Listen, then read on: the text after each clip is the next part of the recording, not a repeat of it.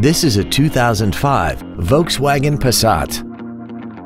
This car has an automatic transmission and an inline four-cylinder engine.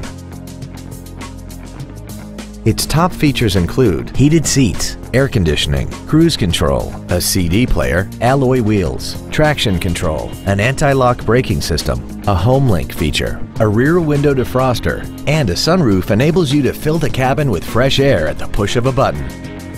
Stop by today and test drive this automobile for yourself.